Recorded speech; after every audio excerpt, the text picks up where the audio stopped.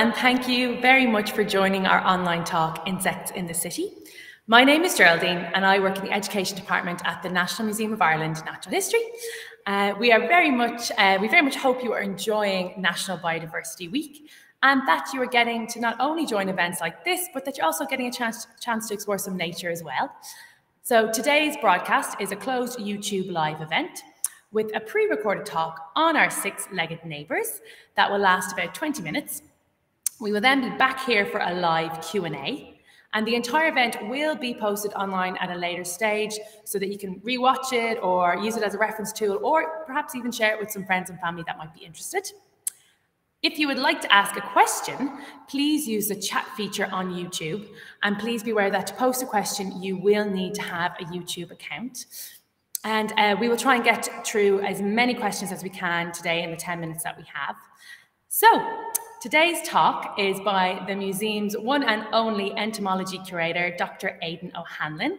So, hi, Aidan, and thank you so much for joining us today. Hi, how are you? Good, Jer, how are you? Good, yeah. Thanks so much for joining us today. And I'm really looking forward to learning a little bit more about our very large insect collection at the museum and specifically learning about Ireland's urban biodiversity. So thanks, Mill. Yeah, it's good timing. yeah, it is, isn't it? Well, anyway, we're going to go straight into Aidan's pre-recorded talk now. So afterwards, we'll both be back here for the live Q&A. So we'll see you then. See you soon. Hello, everyone. My name is Aidan O'Hanlon. I'm the curator of entomology at the National Museum of Ireland. Entomology being the study of insects, it's my great privilege to look after our collection of about a million insect specimens. So these are uh, collections that have never been on display uh, to the public in our uh, museum building, the Natural History Museum in Dublin. Um, there are insects on display there, of course, but this is our, our what we call a, a research collection or a working reference collection and it's used to support biodiversity research. So this is namely research uh, in the field of taxonomy, which is the naming uh, and unraveling of the evolutionary relationships among and between species, or what we call biogeography, which is studying the distributional patterns of species, where different species have been recorded from, has their distribution pattern changed over time, and that sort of thing. So biodiversity very much is our bread and butter in the natural history division, uh, which is why I was delighted when JR asked me to give a talk during Biodiversity Week about urban biodiversity and, in particular, about urban insects. Biodiversity, uh, short for biological diversity, and it's basically it just means the total diversity of organisms on the planet. To some people, biodiversity might conjure up images of beautiful, colorful jungle animals like these scarlet macaws to others, if you mentioned Irish biodiversity, they might think of a really charismatic creature like poor El Fungie the dolphin. Um, to others, to me included, uh, when I hear biodiversity, I use it as a stand in term really to mean insects. Um, and it's reasonably so. We think that something like up to 90% of all insect species on the planet uh, is one form of, it, of an insect or another. And even in Ireland, insects make up 80% of our fauna. And more impressively, insects make up over 50% of Ireland's total biodiversity, uh, which means there are more kinds of insect in Ireland than all other organisms put together. So in Ireland, that would include other species of animals and fungi and plants and everything else. So insects are, are massively diverse.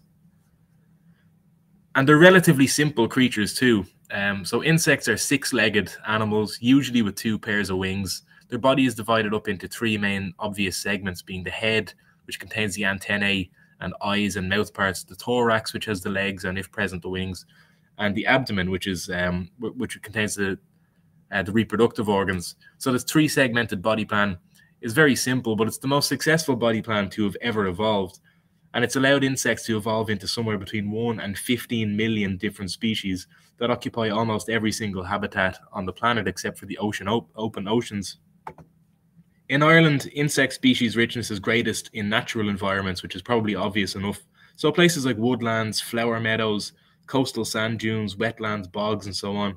But if you go deeper down the rabbit hole, that you find you'll you'll find that features within these habitats are particularly important. So one example, if you look at this bottom right photo, this is a leaf miner, and this is uh, this is a species of caterpillar or or wasp larva or something uh, that lives just inside the leaf. Um, so inside the, the tissue of the leaf, and it'll eat its way out, leaving this feeding gallery behind. Um, even more bizarrely, then on the top right, you've got something like a parasitic wasp or a parasitoid wasp. Um, in this case, she's after this cinnabar moth caterpillar, um, and the wasp, the photo on the top right, this is, will lay her egg inside the caterpillar, and her egg will then develop into a larva that'll crawl around inside the living caterpillar, uh, eating the soft tissues, and eventually, like a scene out Alien, it'll eat its way out, and, and life goes on.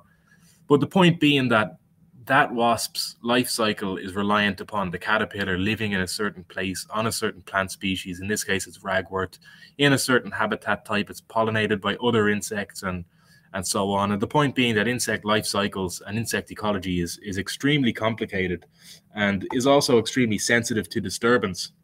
So typically, where you'll find the greatest diversity of insect species will be in well balanced natural ecosystems but it must be said that there are a, a, small handful of very interesting species that have adapted to life in the least natural environments on the planet, which of course are our giant mega cities and um, that are teeming with, with huge human populations. And these are the species that I'll be talking about for the next few minutes. An obvious example of an urban insect would be something like cockroaches. We think that there are maybe 5,000 different species of cockroach on the planet, and most of them are actually quite beneficial and play important roles in doing things like breaking down leaf litter, recycling nutrients into the soil in forest environments, and so on. Only about 20 species of this 5,000 have adapted to life alongside humans in our urban environments, but these are probably the 20 most uh, hated and detested insects on the planet. Urban cockroaches have replaced scavenging on dead leaves to scavenging on just about any kind of waste that people throw out. Because they eat just about anything, they can also spread diseases like E. coli and salmonella, and people can develop allergies to substances in their exoskeletons. So you can see from the appearance of these two cockroaches on the top, this is an American cockroach, which is actually an African species. It was brought to America during the transatlantic slave trade in the 1700s, and it was named from American species or from American specimens, but the species itself originates in, in tropical Africa. And the species on the bottom here is the German cockroach, which likewise isn't German, it originates in Southeast Asia. Um, and if you look at these specimens, they've got very greasy, uh, waxy exoskeletons, um, which some people develop allergies to. The substances in it, but these are actually they contain chemicals to keep the uh, to keep the cockroaches from drying out in in hot environments, which is why you often find them in humid areas in, in our cities. So believe it or not, we've had at least six species of cockroach recorded in Ireland, which include the American cockroach, and most commonly the German cockroach. Um, Irish cockroaches have been recorded from nearly every county, and they're usually in damp, constantly warm environments, which suits the cockroaches perfectly, of course. They most commonly uh, turn up in places like kitchens, bakeries, restaurants, hospitals, hotels, factories, and warehouses. But because of our colder weather, cockroaches can't survive the winter outdoors. They used to be a lot more common in Ireland, and in fact, I recently found a drawer of old typewritten responses to cockroach related inquiries, which date from sometime between the 1930s and the 1960s. So somebody from the public would find a cockroach and send it into the museum in something like a cigarette box or, or a matchbox or something like that. Um, and then a member of the museum staff would send them back one of these stock responses to save their own time because they were so common they couldn't write this out every single time, is, is what I'm assuming. And the stock responses go something along the lines of Dear Sir, thank you for the specimen. It is a blank species of cockroach, uh, blah, blah, blah. These creatures can be eradicated in the following manner, or something like that. Um, presumably, in, improved hygiene standards in places like hotels and restaurants um, and kitchens and so on means that we don't see cockroaches as often in our Irish cities these days as we used to. Probably no one will mourn the decline of Irish cockroaches, but another urbanite that has uh, probably entirely vanished from Ireland since around the same time period, the 50s and 60s, is the house cricket, which is a lot more likable than the cockroach. They used to be extremely common in Irish homes, uh, where they would often be found near an open hearth or fireplace. The families would keep burning for most of the day.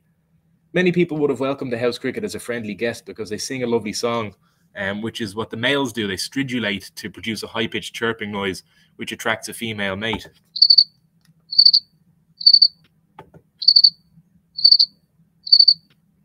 They're probably long standing guests in Ireland. They, we, reckon they might have been brought to uh, Britain in the 13th century, possibly with crusaders returning from the Holy Lands and have lived in Ireland presumably for almost as long. They started to decline between the 20s and really 50s and 60s because of increased domestic hygiene, of course, uh, and they've, they've all, but, all but been eradicated ever since. But uh, quite a nice long standing visitor that we did have. Slightly more annoying are these itchy urban insects. The first one here on the top left is a bed bug, and it's one of the most annoying insects in the world because it feeds on your blood when you're asleep, and you'll wake up covered in extremely itchy bites. Um, but you can't find the culprit because it's migrated back down inside the mattress or pillow or something like that. They're actually pretty rare in Ireland nowadays, and infestations are very easily killed off with insecticides. But they do still turn up in Ireland occasionally because they're absolutely expert at hitchhiking on luggage and things like that. So they're most often found with people um, who've returned back from holidays and in hotel rooms and things like that. The next itchy insect here uh, on the bottom left is a head louse, which would be familiar to lots of people. Um, their eggs are the little pearly white oval shaped things that we call nits, and you comb through uh, you comb through somebody's hair with a nit comb to look for the eggs. They're not entirely harmless, and they can spread disease. Uh, so things like louse-borne typhus and louse-borne relapsing fever, and also because of the itchiness, somebody scratching their head uh, like mad could open up a wound and give themselves a secondary infection like impetigo. But they have been treated very successfully with things like lice shampoo. Um, but they do still thrive and spread as localized head lice epidemics where people congregate in close quarters. So nowadays, that's most often uh, in schools where kids tend to be crawling all over each other um, and they get their heads full of nits sometimes if there is an outbreak. But contrary to popular belief, head lice do prefer clean and washed hair, and they're in no way a sign of bad hygiene or anything like that. Another itchy annoyance up on the top right uh, is the human flea. And yes, that's right, we do have our own special flea species. The human flea has been traveling around with people ever since, uh, well, since well before we were people. So I suppose in that sense, human fleas have been on just as long an interesting and evolutionary journey as, as human beings have. And they're not, also not very common these days because we have massively improved hygiene standards, uh, certainly over the last couple of decades. And it's thought that things like vacuum cleaning um, has all but eradicated the, the juvenile forms of these in households. So there's less of them around to infect people. But it doesn't really matter because we still have cat fleas and dog fleas. Um, in Ireland, dog fleas are particularly common. Um, in Britain, it's thought to be the other way around. Cat fleas are the more common one, which is kind of interesting they'll both make your life miserable just by making you extremely itchy. But in the grand scheme of things, they're they're fairly harmless. They're just very very annoying. Here's a genuinely harmful flea. This is the oriental rat flea. This is the species responsible for transmitting a bacterium called Yersinia pestis, black rats to human beings. The, the bacteria multiply in human lymph nodes until they swell and burst, which overwhelms the immune system and causes death within a couple of days, usually five days or so. This is, of course, uh, the bubonic plague that I'm describing, which was a mostly urban disease of medieval Europe that wiped out between 75 to 200 million people. In Ireland, it first showed up via trade ships in our large urban centres on the east coast, places like Drogheda, Wexford, and Dublin, and it spread around from there. The devastation caused by the Black Death was the worst, um, was worse in cities because the rat populations in cities are greatest, where there are lots of humans, and uh, because we generate lots of waste and the fleas can jump from all of the rats onto all of the humans congregating together and spread misery. Mosquitoes, another group of itchy insects. It often surprises people to learn that we had we in fact have around 18 to 20 mosquito species that naturally live in Ireland. Most of them don't bite humans, and the few that do, like this Culex pipiens fly, seem to prefer going for other animals such as birds. A big worry is that exotic mosquito species, like this tiger mosquito, from Southeast Asia will be imported into Ireland through one of our urban city ports. And it's a big worry uh, precisely because mosquitoes are the deadliest animals on the planet. They kill on average 1 million people every single year by transmitting deadly diseases like malaria, yellow fever, West Nile virus, and other terrible sicknesses. Although it has to be said that our native Culex pipiens, which is the commonest mosquito in Ireland, this guy on the left, those species are also capable of transmitting West Nile virus too, we're just very lucky that we don't have a reservoir of diseases available for the mosquitoes to spread. Mosquitoes, like both of these species, breed in stagnant, oxygen poor water puddles, so public health authorities are often on the lookout for malaria carrying species in things like imported rubber tires, which retain puddles and travel over very long distances. In fact, we have already had an Irish malaria epidemic in relatively recent history. There was an outbreak in Cork in the mid 1800s, which is around the same time as our Natural History Museum opened to the public in the first time for the first time. Um, and the Cork malaria epidemic caused about a thousand cases in the area.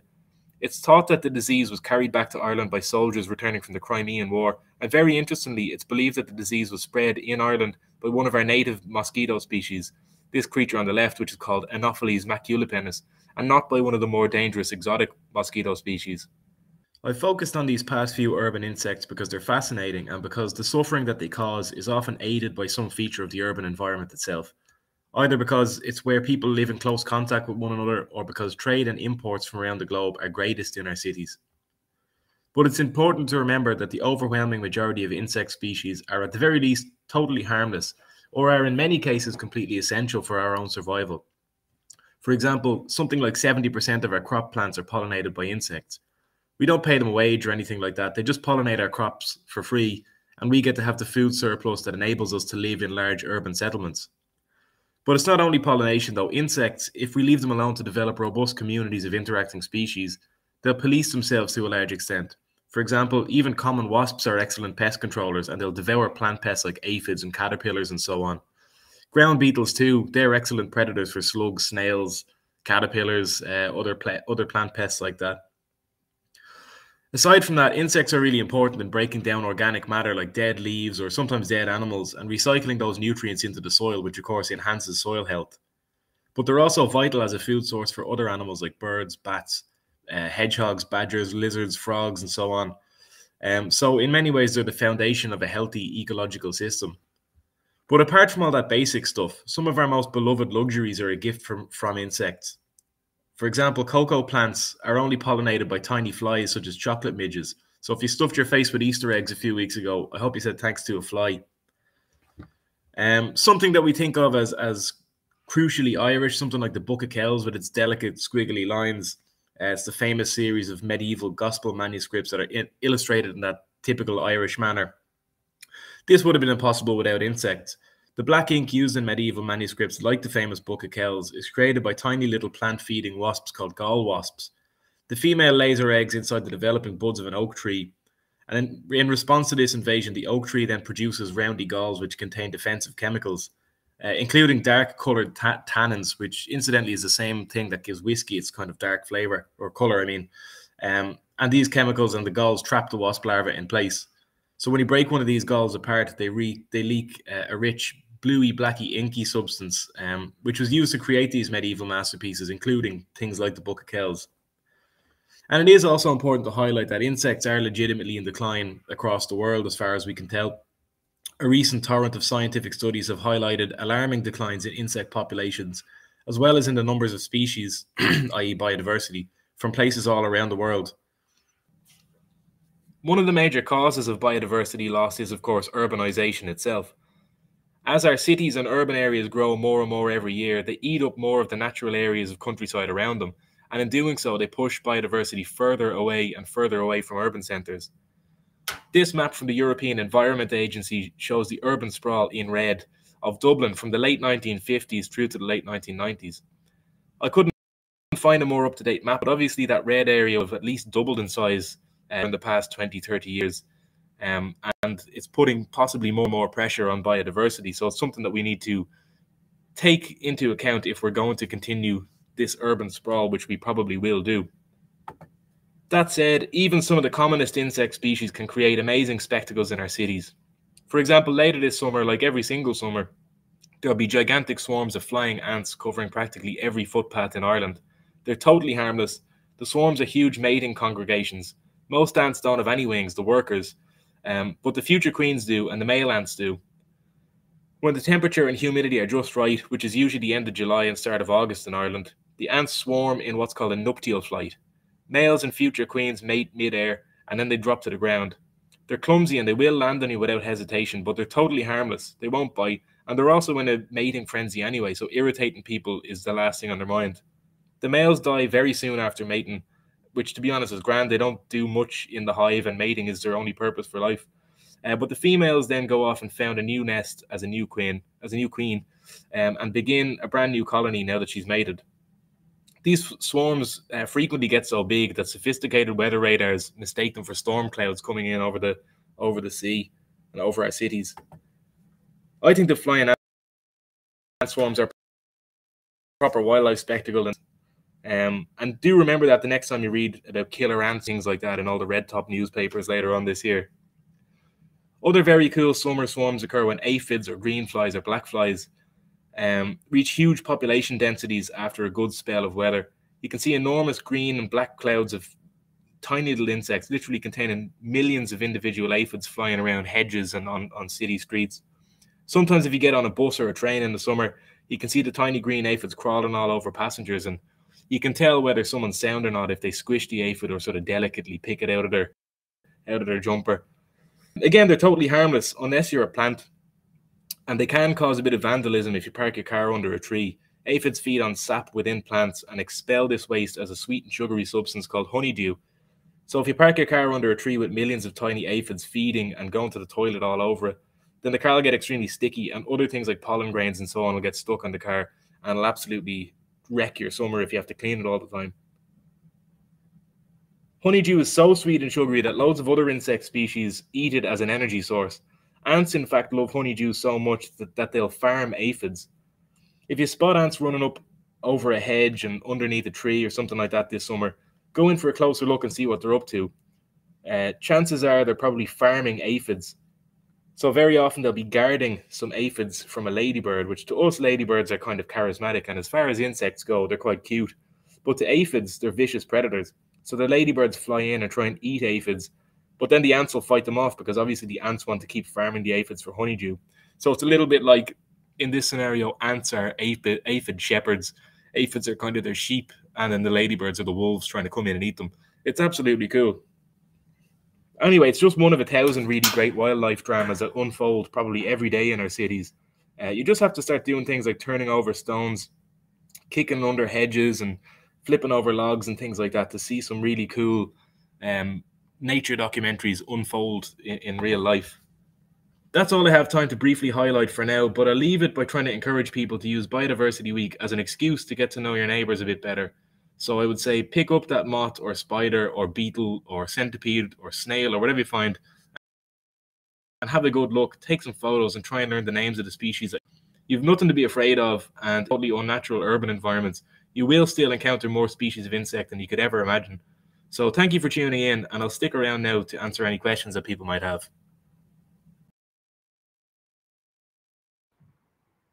Hello and welcome back to our live Q&A. So I really enjoyed that talk, Aidan. Uh, what a great addition to uh, Biodiversity Week. Thank you so much.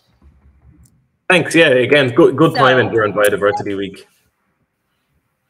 Yeah, it was great. Thank you so much. And I particularly, I really enjoyed the story about the cockroaches and how the museum staff managed all those queries. I just like those little nuggets into the past are always fantastic. And I'm I'm sure there's similar queries coming in um, all the time um, to you today. But um, before we jump straight into the um, Q&A, I just wanted to quickly mention one thing, which is the Citizens' Assembly on Biodiversity Loss that began last Saturday in Dublin Castle.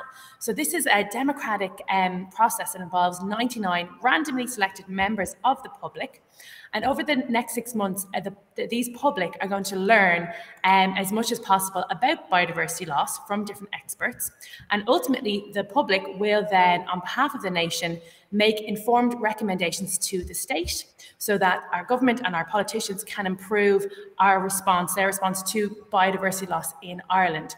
So if you're interested, I think it's really worthwhile checking uh, their website, citizensassembly.ie. I'm going to put it into the chat now, um, a link to the website. And on the website, you can see the whole process online. You can also view lots of interesting um, talks from experts on biodiversity uh, loss. And also, most importantly, you can make your own submission to the um, to the assembly for them to review. Um, so please, you know, check it out if you're interested. So, right, let's just get straight stuck into some questions. So, I think the first one that we have that looks quite good there, Aidan, is from Emma, which is What is one of the best ways for us to help manage our urban spaces to be greener or better for insects? Um, that's a good a good question, and the answer is kind of in it actually to manage the urban spaces to be greener. So lots of plants. Um, especially if you're interested in things like bees. It's World Bee Day today, actually, um, during Biodiversity Week. And we know that in Ireland, we've got something like 102 native bee species. Um, there's something like 16,000 bees around the world, but 102 of them live in Ireland. And of those 102, I think 30% of them are, are threatened with extinction, uh, which is not great. One or two of them have already gone extinct. There's one that actually was thought to be extinct for 100 years, um, the tawny mining bee, but it's it's sort of made a bit of a comeback and it was rediscovered in Kilkenny in 2012. But um, if you wanted to help pollinators, for instance, and, and there's good reason to do so, um, mm. obviously planting pollinator friendly uh, wildflowers, weeds, letting weeds grow a bit wild, um, things like that. And there's good resources. There's things like the All Ireland Pollinator Plan that have lists of, of plant species that are great. It's not always just dandelions, and some of them do look mm. nice if you're if you're into your gardening as well. I think dandelions look nice, but you know, if you're if you're fussy about your plants, I love a dandelion. Um, so great. So yeah, so like less mowing of your lawn, just kind of supporting that bit of wild, even if it's just a corner of your if garden. you can, yeah. And of course, as well, like it depends on what kind of biodiversity you want. You don't necessarily want to help things like mosquitoes and cockroaches and stuff like that. So if you want to get if you want to get rid of that kind of biodiversity, um, I suppose cockroaches is uncommon. They'll show up if they show up. But the other one is mosquitoes. I have mosquitoes out my back garden, and it's because we have a water butt that's connected to the drain, and it's like stagnant water in the top of it, and that's where mosquitoes obviously lay their eggs. So, yes. um, clean that out. You can get rid of them, or put up a bug zapper. But for the most part, we should be encouraging the wildlife that we do like, not the not the few that have become pests. I suppose. Very good. Yeah, there's actually an, an interesting uh, question here from Aileen, and she's um, saying, "Wonderful talk, Aidan. Really enjoyed it. And what do you think about bug houses? Are they useful?"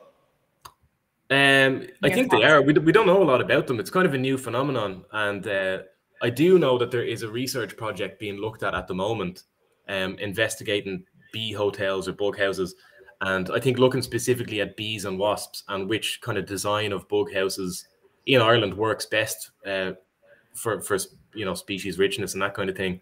Um, so they're definitely better than nothing. I suppose the other thing is, as far as I know, a lot of the ones that you would buy uh, commercially in, in some of the, the, larger shops, they have like these bamboo uh, little yeah. bamboo sticks that are glued in, and I think ideally you'd want to get something that you can you can remove those and clean them because as the bees, the stem nests and solitary bees will fly in, they'll leave all their frass in there and then come out the next season um, but it'll kind of it can build up bacteria and do more and mold and things like that and do more damage and, and kill them off then. But yeah, absolutely, they're, they're better than nothing. Yeah. And if you live somewhere that's very built up and there isn't a lot of space, yeah, um, or banks where bees and things like that, and solitary wasps can go in a nest, then then um, I think they're great. And if nothing else, they're great to watch. If you have one set up on like a south facing thing, you can watch the bees and wasps coming and going. Fantastic. Yeah. So it sounds like, you know, um, like let your garden go wild a bit, but whatever you do to help insects, you still kind of maybe need to keep an eye on it, manage it. So like that things can you like go off or get diseases. So as long as you kind of yeah. give them a little helping hand. I like, think it's the same way, Jared, that you um you're supposed to clean out bird seed, like bird feeders, because they can go moldy as well. I think it's, exactly. it's probably the same principle with insects. Yeah, cool. Well, that's really good to know. Um, somebody also asked, um, do you have a favorite insect species in Ireland? That's a hard question. Uh, yeah, there's one. There's a really rare one. I don't actually have a favorite one, but there's one that I, I found recently that I think is really cool. It's called the Minotaur beetle. Um, I don't have one here to hand, but I, I had a picture of one up on, on Twitter a while ago, so you can find that. Um, it's this cool. It's a it's called the Minotaur beetle. It looks like it has these two big bull horns um, that come out of it. And it's really patchy. It's only found in a couple of sites in Ireland um, and it lives in it makes burrows underneath dung, underneath rabbit dung, we think, and then it goes about a meter underground and kind of lives most of its life as a, as a big larva underground. Um, but they're very cool looking things. They sound great. I'd love to see a picture of them. I'll have to check out your Twitter feed. And like, I love the fact that there's like so much in the soil that we just are totally unaware yeah. of. yeah, we forget about it because we're not looking in under the ground a lot. Yeah it's that other habitat that's so important. And um, there's loads more questions coming in. So, uh, um, yeah, so one from Helena. Is there any way of dealing with aphids for vegetable gardens that won't inadvertently harm other unsuspecting insects? So I suppose, I mean, what's the natural predator for aphids? Uh, ladybirds and wasps. Yeah. Wasps. Um, but I, th I, think there's, if you want to get rid of it, I, I have a big aphid problem in my own garden as well. They're, as much as I like them, they're, they're annoying when they when they absolutely ruin plants. Yeah. Um, I haven't done it yet. I actually set up a bee box right beside it, and I'm hoping that it'll encourage wasps to go over. And then when when they find the aphids, they'll they'll munch on them. That's what I'm hoping. Yeah, um, but I, I read that you can get something like a like a vinegar, some kind of vinegary mix, like vinegar and water, and kind of burn off the aphids that way rather than spraying pesticides that might damage something yeah else. definitely. No pesticides please. Um, which obviously this person i think is aware of. But yeah just yeah that there are some really good tips. Thanks emil. Um, and then we have oh yeah so what um, from michael what are some things the public can do re citizen science to record insects that they find in cities? Do you have any citizen science projects that you could recommend? Um, there are loads. So there's there's the National Biodiversity Data Center would would manage uh, most of the citizen science projects for all kinds of wildlife, um, including plants and, and other animals, not just insects. But they do have a couple of initiatives that they run. They've got one at the moment, the flower insect timed count, the fit counts. So if you have 10 minutes to spare and you have a patch, it could be in a garden or it could be a local bench in a park. Um, or on a beach in the sand dunes where, where there's a bit of flowers. Any anywhere you just pick a, a, a, patch and watch it for 10 minutes and count all the insects that come and visit it. Um, and the good thing is you'll you'll get to learn the species over time as well. So you're kind of teaching yourself how to identify species.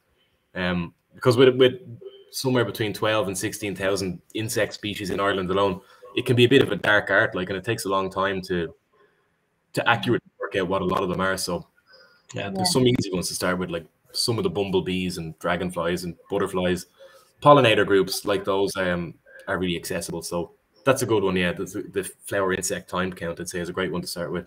Perfect. And we just put up a link to that and um, uh, and in the chat, and also a link to the Biodiversity Data Centre's publications because there's some good reference tool or like publications on the kind of like insects in your in your area, and um, that will help you identify the insects in your cities. And also Emma just put up, I think, a link to um, that minotaur beetle. So that's great. So thanks, Emil, for doing that.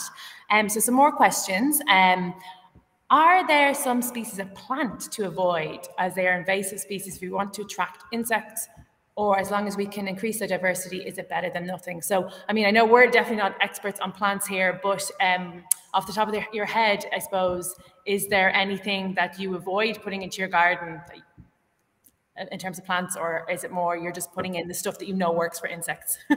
That's pr probably a question for a botanist. I'm not, I don't know much about I don't know much about plants. Only sometimes what eats them. Um, okay. I did things like you know rhododendron obviously are a bad invasive, yeah. or the what is it the hogweed although you probably mm. wouldn't have that in your garden unless you're very close to water anyway okay um yeah i don't know there probably are there's, there's probably a, an you know if you looked up invasive species probably on again um yes. the biodiversity data website there's probably a whole list of invasive plants to avoid and the reasons to do so that's a really good point. Yeah. Okay, another more insect related one. Are there any new species showing up in Ireland in recent years due to climate change of insects that you'd be aware of? Yeah, a few. And actually, if again, for anyone who's on social media, it's everything's really good timing this weekend today, Jer. It's because it's World Bee Day. I did a series of tweets on the the Dead Zoo Twitter, and it's about bees mostly. But mm. there's a few examples in there that I was just thinking about this morning of species that have shown up in the last year um, one that we were expecting for a long time is the IVB, bee, um, Colletes hederae. It's a small little, um, small little uh, mining bee, and it lives in kind of sandy areas. And it was expected to show up again because of sort of a, spread northwards through Europe, and it was spreading westwards in Britain. It was expected to show up eventually with maybe with climate change or just with with increasing temperatures, I suppose. And mm. sure enough, it did. It showed up last year in Wexford, which is exactly where you would show, kind of expect it to naturally show up. Um, and uh, there's a big colony of them living down there. So that was only discovered for the first time last year. There was another one, a giant bee called the violet carpenter bee. Yeah, it's a huge, big thing. It sounds like a helicopter when it's flying around. And that was that. It's a continental European species, and it showed up in Roscrea and Tipperary last summer as well. Um, it wouldn't it wouldn't survive here, or, or, or I'm not even sure if it lives in Britain. Maybe down the, the very far south coast there's dragonfly species as well that look like they've been mm. tracking north over the past couple of years as well, with with um, presumably due to due to global warming, water yeah. temperatures increasing. Um, yeah, there's new species show up in Ireland uh, every year, um, and it's hard to disentangle what is caused by something like climate change and what's yeah. caused by something coming in and you know underneath a wooden pallet in a freight yeah. container or something like that. Okay, yeah. So really good to know. And I suppose some people are kind of asking questions about um so like how important is it to report these different um, examples of insects coming in like is it is it is it worthwhile doing so and like what kind is there is there much work being done um, on um, kind of the insect diversity in Ireland as as a whole like if, if people report stuff to the National Biodiversity Data Centre it does get used doesn't it um, Aidan. It's really important. It does, yeah, yeah, absolutely. And it, they, they verify the data sets too. So the best thing you can do if you're interested and just want a new hobby as well is take pictures of insects that you find and record them on something like the biodiversity data center or you can email them into us in the museum as well we answer those sorts of queries too um, yeah and often what the nbdc will do is they'll send a data set of all these species occurrences to somebody to validate so it'll be an expert in that mm. particular group of birds or insects or plants or whatever it is and they'll be able to identify them often from the photos and say if they're legitimate records or not. So even if you're not sure you've identified something, yes. um, it'll kind of get it'll get it'll go through a bit of a mini peer review anyway. Yeah. Um. So there is that. There's that kind of casual recording, and then there are occasionally there's more targeted surveys as well. So I know there's. Yeah. At the moment, there's a survey for the again Bee Day for the Great Yellow Bumblebee in Mayo. That's I think it's a Department of Agriculture funded project, and um, where that species it looks like it's it's it was once very widespread in Ireland and it's sort of been pushed to just the western fringes and it's only it's only in Mayo now. But I think there's ongoing surveys for that. There's every every September there's ongoing surveys for the marsh fritillary, which are these fellas behind me, um, which is actually one that can zoom in just so people can see how nice they are. This is Ireland's only legally legally protected insect species. Mm. Cool. It looks like looks like stained glass in a church or something like that. They're really beautiful. It's But um, they they seem to be doing very well now in Ireland and across Europe, but they're legally protected under the Habitats Directive, so all across the EU. Um, yeah. And they're protected here. So, but every summer, because it again, it's a it's an internationally protected species. They um, there'll, there'll be surveys, professional surveys done for those every year. Yeah. Um, and there's other ones as well, like uh, building developments and so on. If they've if they've employed uh, good ecologists to go out and do something like an environmental impact assessment, if they've got biologists, they'll often go out and screen for protected species and things like that as well to make sure that whatever development it is isn't going to um, negatively impact the populations. Yeah, it's really important, isn't it? Um, so uh, there's just another one. I think this is one, one of our last questions. It's just um, from Marin, and they they're asking, are there many insects that migrate to Ireland, like the monarch? So slightly different question here, but kind of interesting to know. Um, some of the butterfly species I can't think of off the top of my head. I always get confused between things like red admiral and the painted lady and stuff like that. But there's yeah, some of our butterflies again, not, not the monarch, although that has shown up as well a few times. Oh really? Um, would, would migrate migrate to Ireland. Yeah, maybe some of the dragonflies as well. But I, that's a very good question, and I'm gonna go and I'm gonna go and read into it now after this. Me too, Aidan. Um, people are always keeping us on our toes, which is, is a good way to be. Um, well, we might just end on one last question, which is um, basically in terms of like because we were talking about insects in the city is there any kinds of insects in the city that roam at night that you didn't get a chance to mention anything in particular a lot of them yeah yeah lots yeah. of moths obviously are totally nocturnal um yeah. and if you leave on leave and is there any like like yeah is there any particular issue like do they have any challenges particularly like compared to other insects i suppose during the day I know there's been a bit of research uh, on sort of things like light pollution and its po possible effects on moths. Okay. Um, I know they've changed lampposts a lot. Where I live, anyway, they've changed the type of lampposts. So back when I was a kid, there were those big, the ugly kind of orange lampposts, yeah. um, and I used to always see moths flitter, it, like just going straight yeah. for them. And then, if you're lucky, you'd see a bat kind of just realizing that this is basically McDonald's. If you're a bat, you're just going, yeah, hoover them all up. Um, they don't do that as much anymore. I think with the LED lights, yes, there's a yes. good feeling. Um, but I'd have to look into that. That's probably a really nice research project for somebody to do if they're not there already looking. I know they've looked at the impacts of light pollution on bats and yeah. and and birds as well. Um, it, it kind of it, it, it might simulate changing seasons and changing daylight hours and stuff like that. Probably is the same for nocturnal insects like moths and yeah. and, and lacewings and things like that. Yeah. I'm always surprised about how many moths there are in Ireland. This, you know, we just don't get to see them as much because obviously we're asleep when they're awake. And um, yeah. there's a last question which is going to wrap up our talk quite nicely and move us along here, which is. Will, when will we be able to visit the museum again? And uh, yeah, I suppose we are we're still closed. The National Museum of Ireland Natural History or the Dead Zoo is still closed to the public, and we're working our way as fast as possible to open the ground floor again, uh, hoping to that soon, but we don't have um, a particular date ready yet. So just keep an eye on our website, guys, and that's where um, we will be informed um, of when it is reopened. So I just want to say um, thank you so much to Aidan. Thank you so much for putting all that effort in for the talk and all your time. We really enjoyed it and it's great. We got loads of people viewing online today, which we're so grateful for, and lots of interactions. So thank you so much. And particularly thank you to everyone at home as well. And I hope you all have a fantastic biodiversity week. Um, so thanks, Aidan. Yeah, thanks, Jaron. Thanks for tuning in and, and asking all those good questions, everybody, too. It was really good. Um, okay, so I have just one small favour to ask you all, which is please take two minutes to fill out an online feedback form that is being sent to you now via, via Eventbrite. And then also, please just check out our, our website, museum.ie, uh, for more upcoming events. Um, and also, if you want to subscribe to our YouTube channel, um, we've loads of other talks up there, including one that Aidan did last year on wasps, which is fascinating, um, and also from our other uh, curators at the museum as well. So that is really it now. We've run out of time. So thank you all so much, and a big thanks again to Aidan, and we'll see you next time. Bye.